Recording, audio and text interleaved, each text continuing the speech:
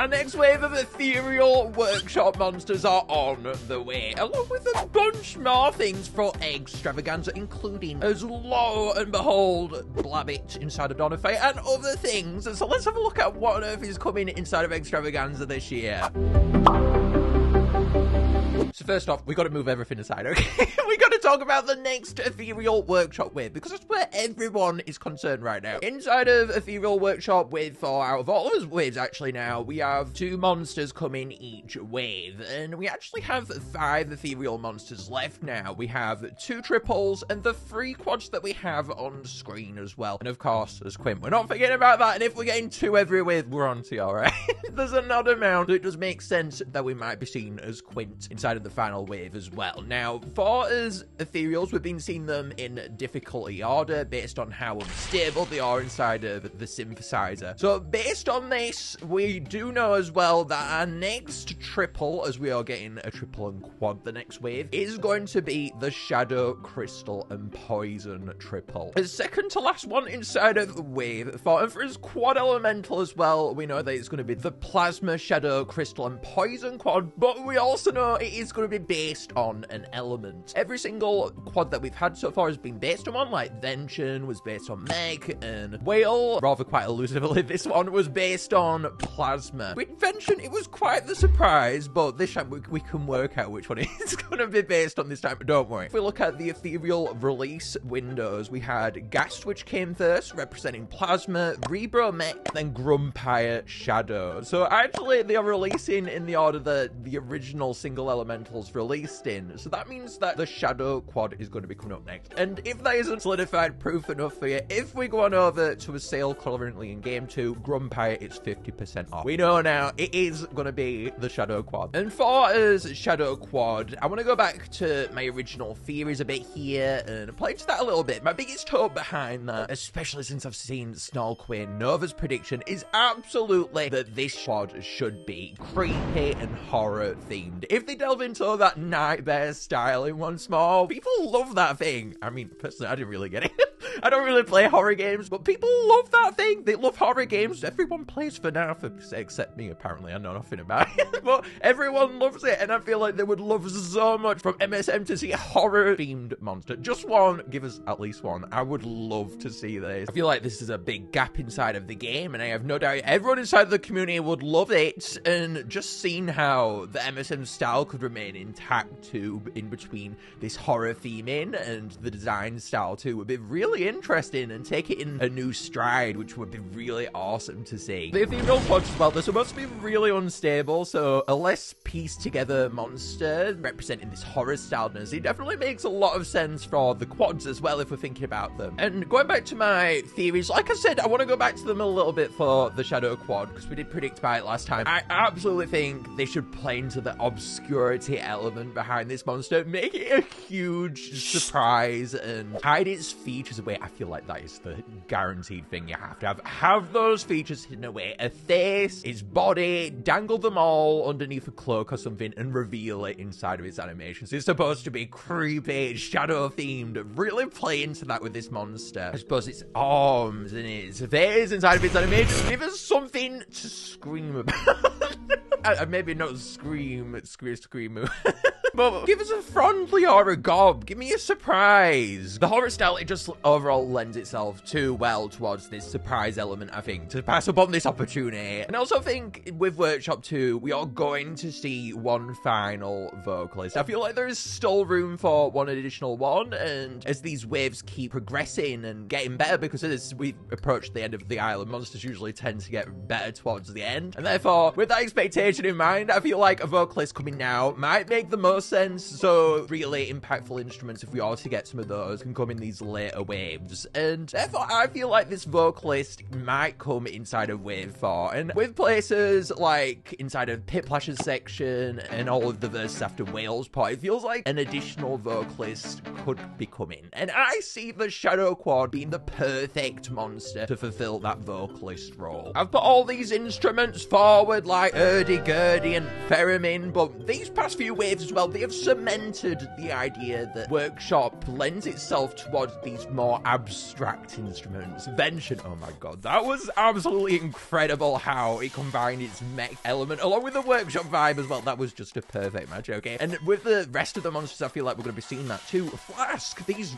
unique sounds, potion bottles gliding amongst one another. You just never expect it. And a saw going in between Vhenshun's mouth. It's just absolutely insane, these ideas that they come up with to fit that factory setting. And I absolutely think those ideas are going to continue. And actually, I only feel like they're going to get better as we keep approaching the final wave too. Therefore, with a Shadow Quad, even though I think it might be a vocalist, let's go back to that abstractness behind it and see how we can go about incorporating that inside of this vocalist too. I was thinking. So I was thinking we could do it with whisper-like sounds to mimic the horror-based theming with heavy reverb and echo to communicate that workshop style into to contrast as well with those heavy vocals have this whispering part. It feels like it would lend itself so much the horror theme into it too. And maybe some silence moments I was thinking inside of it, rather sporadic, make it feel very unknown what it's going to do and how it's going to play to lend itself towards that horror vibe and especially as well to incorporate this horror theming but staying true to the workshop style. I came up with some ideas as well for just instrument wise what this horror based monster could do because honestly I'm putting all my ideas on the table today even though I feel like it could be a vocalist. I feel like maybe flickering lights would be really cool because obviously it's a workshop you'd see some of that and the horror theming as well coming into this but the unstable energy as well and it working in tandem to reveal itself. Imagine light flickering noises coming in when you hear the monster and see its face or whatever. That obscurity element and this could play into each other so well. And I was thinking maybe footsteps, you think of running away inside of horror games or whatever. So having that percussion sound could be really cool as well and mimic people working amongst the workshop. footsteps too could really help amp up Whale's part as that has such a huge escalation, but it needs a little bit more and footsteps or some kind of build up towards that tension could escalate that so well. And this maybe lends itself a bit more to mention. Vents too. Vents. Oh my goodness. Full horror theme in here. Shadows, they're supposed to be unseen. And you often adventure inside of vents in horror games, right? I, I, I honestly don't know. I'm making this stuff up on the spot maybe. But I feel like incorporating these and low swirling air sounds inside of the song would be quite a cool idea as well. These abstract ideas for the Shadow Boss though, I think they are so extraordinary and it gets me so excited. I feel like the opportunities for the Shadow one in particular, when I think about them, are so extraordinary. Vhenshuns truly open the ballpark for these instruments now in my mind, and it just brings to life all these insane ideas inside of my head. is is insane. My mind is honestly racing. Anyway, as I've been going on about the quad, let's go back to the triple for a bit. So I've been longing for a heavy instrument like what Vhenshun provided inside of the song, and I went over instruments like the theremin and the hurdy-gurdy inside of my theories last time, and I really would like to see something like that, and therefore, with the triple, I'm super hopeful that we get some kind of heavy instrument as well to really tide us over inside of this wave. Honestly, this wave is looking really powerful and good already, but I just love this idea of having a really weird vocalist to combine with a heavy instrument. This could be so cool. I'm so obsessed. And besides his instruments too, I feel like it's important to bring up Whale's part. Oh my god, I need this part to come. I am spoiling myself to death. I'll go on live streams. I'll be chilling out with you guys, and then the sound will just come on, or I'll be reacting to something. I just need it to release so I can finally put my efforts to rest. okay. I generally feel like I am going to listen to it in whole at one point. Apparently, I sat through the whole thing. It was that quiet. I didn't notice it inside of what one of my fan-made reactions, but it was there. It was playing. Thank God I didn't hear it. I'm not going back and looking if I did. You guys can go and do that, but I'm fed up of trying to storm away from it. Just please release the track. Okay? for my sake above anyone else's. Everyone else is listening to it in bliss, but I, I, I just want to hear it in game for itself. I've heard the first little bit of it though, and I must say, this track is so powerful from the little bit what I've heard, and I can absolutely tell where this is going. It is going at the end of the song, and it's going to lend itself towards more of a mythical island ending style, isn't it? Just like what we have with the finale verse there, which absolutely is my favorite verse inside of the game, and I have no doubt it's going to do some amazing things on Workshop this track. It sounds absolutely extraordinary. I must say, though, just from the little glimmer of the sound I've heard, it also sounds so different above Mythical as well. It's changed, it's so drastic to the rest of the song. Going back to my little bit what I've heard, I feel like this is going to be unlike anything we have seen from MSM so far. It truly feels like an emotional staple, and as though it's going to really make the workshop song change in a whole different direction. And with that in mind, I must say, I do feel like we're going to see an exclusive monster potentially play inside of that verse, just based on how drastically different it is from that song. I feel like getting a piplash there or something to compensate for this verse being quite different would really help this verse come forward. And therefore, for when this verse is going to arrive, I feel like it is more so based on A, when we have enough monsters from the verse to actually have it inside of the game, and B, if this monster is going to come inside of this wave or whenever wave it is coming, this exclusive monster inside of that verse, because I genuinely don't think they can captivate on that verse enough without having an exclusive monster there. Whenever that monster does come, then obviously that verse is going to have to come as well. So it's just down to those two intricate parts there. Whichever one lands itself first, I think that is when we are going to see this verse come forward. I desperately need it. Man, I desperately need to. It sounds so good. I just want to listen to the track again. Give it me!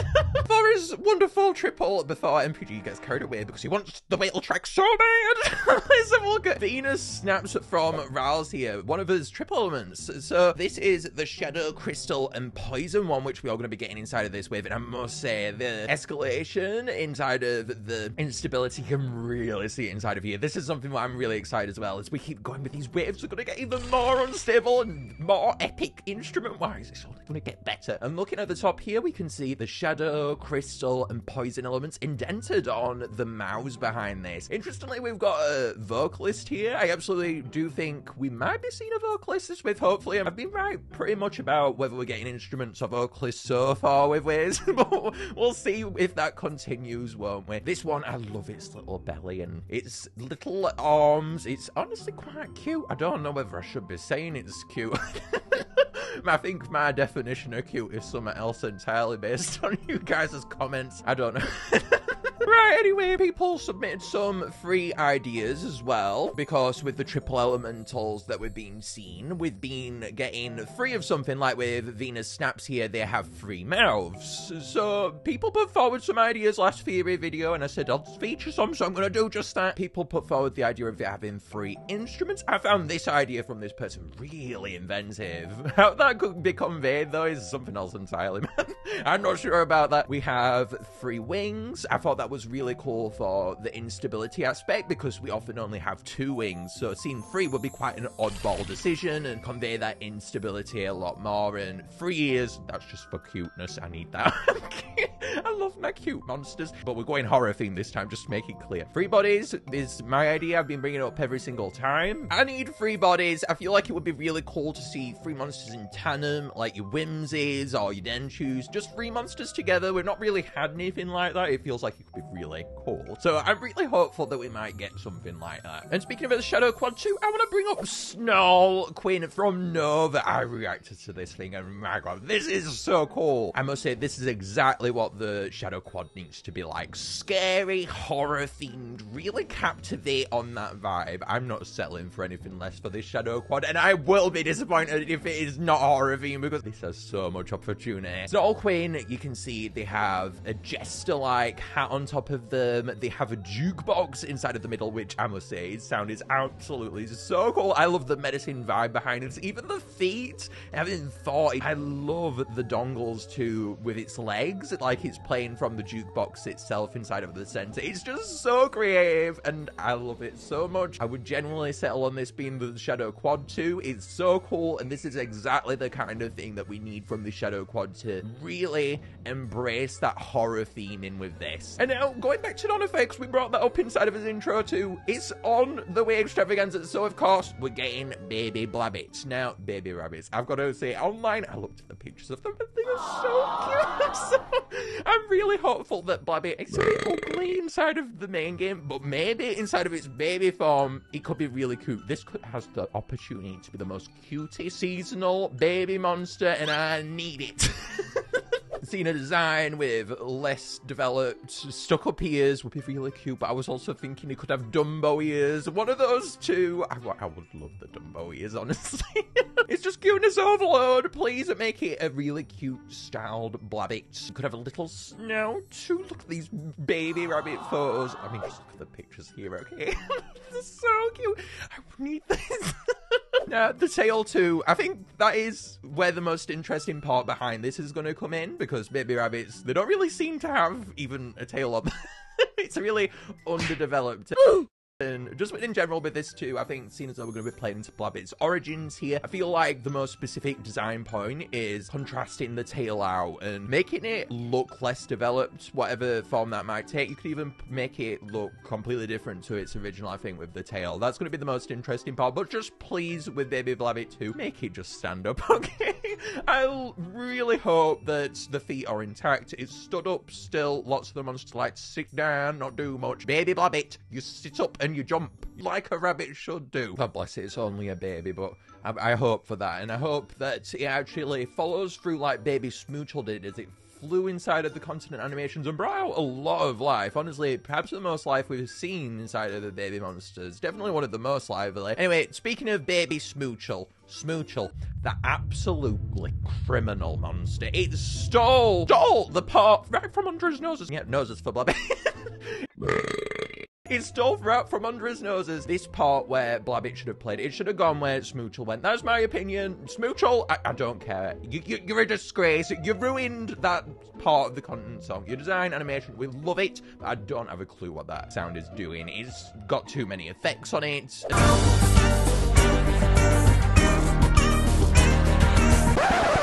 And therefore, I hope that definitely does not happen again. I've never seen anything really happen like that before. It just ruins that part of the song. Anyway, regardless, Blabbit, you need to do a role reversal therefore. Seen as the Smoochle, I really wanted to go at the end and it went where Blabbit should. Blabbit, you need to go where Smoochle didn't and do what Smoochle just didn't. Blabbit, it needs to do more than it's ever done before. Seen as we get this role reversal, I had it that way in my mind because I felt like that was the most natural way to do it. But Blabbit, therefore, really needs to to play much more melodically and be much more methodical than it ever has been to be able to fulfill this verse. We've only got four monsters left now Gnawls, Bowhead, Blabbit, and Hoola. And out of these four, it feels like Blabbit is going to be one of them to go in the end, and therefore I'm really hopeful that Blabbit can provide something meaningful here. This part, it really needs filling out much more than the rest of the song. Really. This part is so lacking in comparison to the rest of the song. It doesn't have as much monsters to fill it out, and therefore Blabbit, I feel like, could do that. It needs to be much more musical than it ever really has been to help push this part forward, to bring it as lively as the rest of the song. And now, though, we're going to look at Rouse's design behind Blabbit. I'm sorry, I've not actually looked at this yet. Who's got a massive belly? Oh, it's so cute though. I don't know though. okay, I've lost oh, I don't know. This was honestly not what I was expecting. Anyway, Rouse has come up with Blabbit here. It's got a gold tooth, a large belly. We've got some poofy cheeks here. We have the tail, which is sitting on rather lavishly here, and ears. I'm really hopeful that they either play into the ears being much more Dumbo themed or stood up, like I mentioned before. But really cute design here from Rouse. Please stand up though. Please, Blabbit. I need you to stand up. That is a direct request. And with Blabbit 2, I feel like we are going to be getting something else, and that is actually as next Quint. I feel like it is time for us to finally see as Quint come to Dawn of Fire as well as next one. And with that, who is better for Eggstravaganza than as Water Quint? Of course, Bowhead. You're saving Gnawls for later. We know that. so let's get on with Bowhead, shall we? I talked very in depth about this inside of my Quint's theory video, so make sure to go and check that out over here. But I feel like Bowhead, it really needs to give that final push for Dawn of Fire that these Outer Islands really need. Bowhead is a massive instrument, and it can really lavish out these islands in ways which other monsters certainly can't. And this is the second to final monster that is going to be going to the Outer Islands as well. So with that in mind, I want Bowhead not to just go to one island like I brought up last time, but I want it to go to two Islands. And that actually never happens. It's not happened for years, but Bowhead, you need to do it. If you are the second to last one, this has to be the monster that goes to two. Toy Island and Space Island need Toy Island it is the least liked island inside the community. The community just does not like Party Island, and I see why. It doesn't really have much going for it. It's definitely not the most lively song, let's say, and I even forgot about its existence once when I was playing the game and I nicknamed it as my least favorite island. I just forgot it existed. I actually think that's really bad. anyway, Party Island, if we just had one monster go there, the community would be in alarm. Because they just don't like Party Island. But here's the thing, if it goes to both islands, we just get the best of both worlds. Bowhead could do wonders for Party Island paint that fresh coat of paint that Party Island really needs. It's just so bare bones, and Bowhead, it provided so much to Psychic Island, and it, just even a little bit of that over here is it's going to make such an impact. It's going to be insane. It just, the idea of it playing through the whole Party Island song and giving it that bit of momentum to when Candelabra plays and Quarrister, making those bits feel epic like they should be. It, it could give that twist on the knob that this song really needs. And Space Island, oh my Bowhead is made for the island. You can hear it already playing inside of the song and all of these wondrous parts that you can add in that final verse to inside of Space Island. That needs something right now.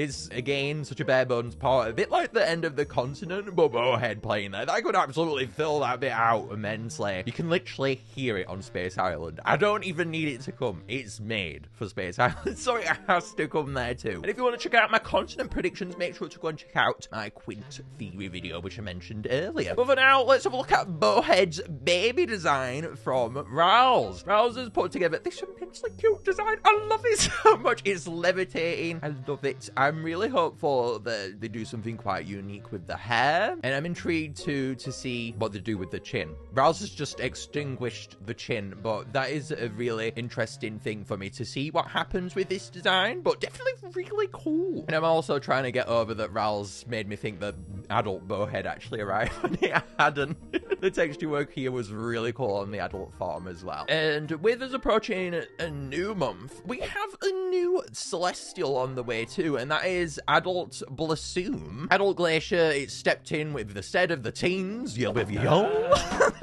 okay, we're not just saying the Yars side of another theory video MPG. Get it together. So, in my opinion, we've had this teen vibe, but more so with Blasoom, I think back to the differences between the young and adult The differences are so minute, is absolutely unreal, and I feel like if we are to see this adult form take its own animations and be unique, it's got to have at least one drastically unique feature, I feel because it's just too similar, I feel like, otherwise. If not, it's not going to really have anything to really play around with inside of its animations. For this element, I feel like the tail would be perfect. If it had a different looking tail or a really long tail, just have it be really eccentric and large for its adult form. Make different. I feel like that could be the big playing thing for the adult form. Could play around with inside of its animations and make it seem really lively. They already changed it with the young form, with it having three bamboo-like tails, so I feel like they do have the room for experimentation with the adult form over the other features, so I'm really hopeful that they play into the eccentricness behind it and make it really different from the Elder, so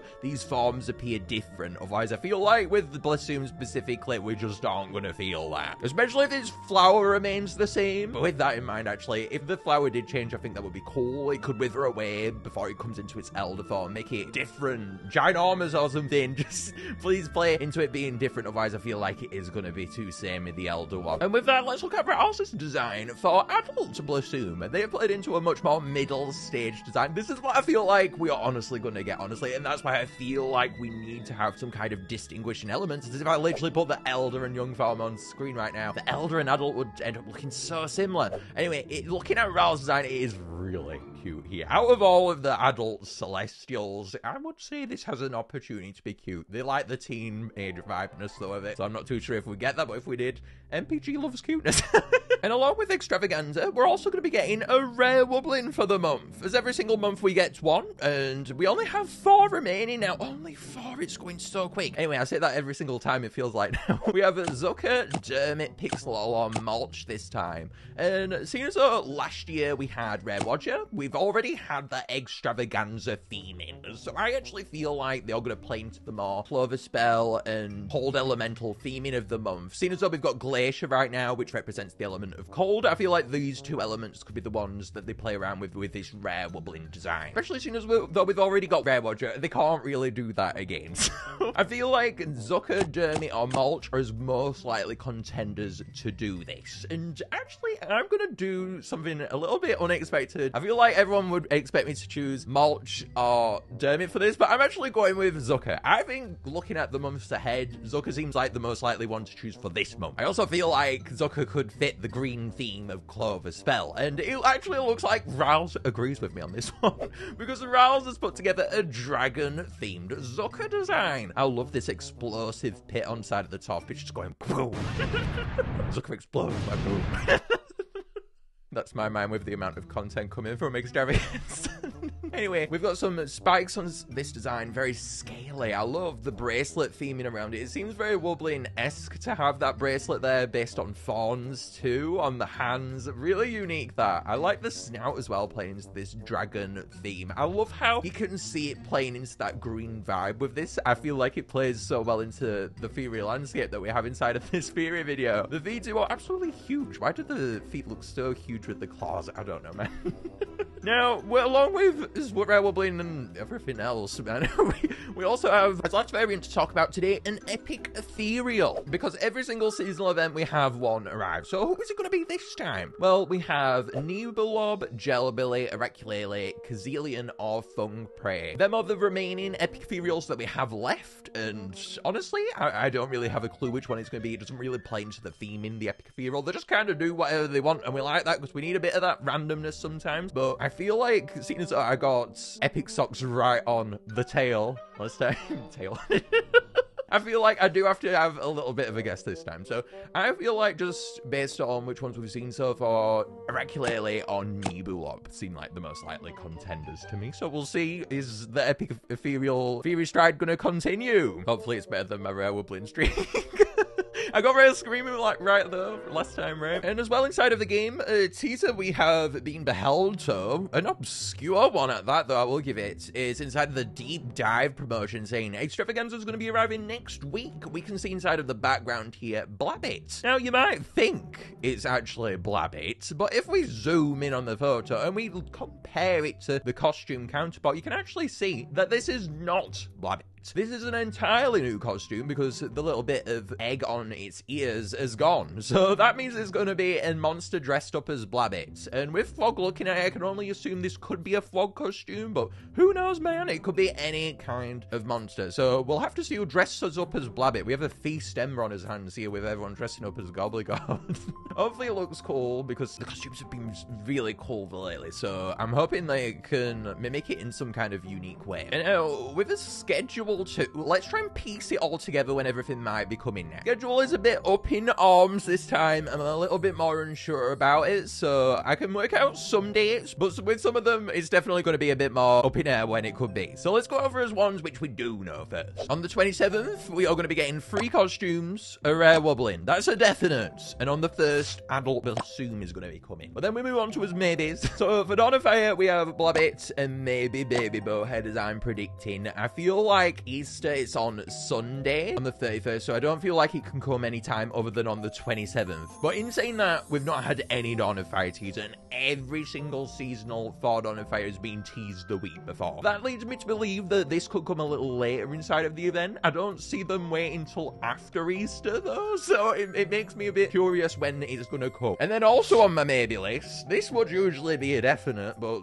given what we have coming up, which Wait, well, let's just get into that in a minute. we have on the third the Epic Ethereal and Workshop Wave 4 coming. Now, why is this on my maybe list, you might be wondering? Workshop Wave 4, Workshop Waves, they always come the week after a seasonal event begins. That is the new status quo that we've been following since the waves have started, basically. But with what's coming up and my part two to Eggstravaganza, it, it leads me to be a bit unsure when this could be coming. and just hold on there because there is actually a lot more more coming for Eggstravaganza. We'll get onto that in a minute. So overall, that's all of the schedule that we have now. So actually, let, let, us skittle back now. Let's go back to that point where I was on about lots more is on the way for Eggstravaganza. But what do I mean? Well, stay tuned for my part two to Eggstravaganza. Now, this has been one of my longest theory videos already, but it does not end here. we have got something very exciting on the way and unexpected, and I must leave right now to make that video because, oh my god, new island on the way? Please stay tuned for my part two because it looks like we have a new island on the way, guys.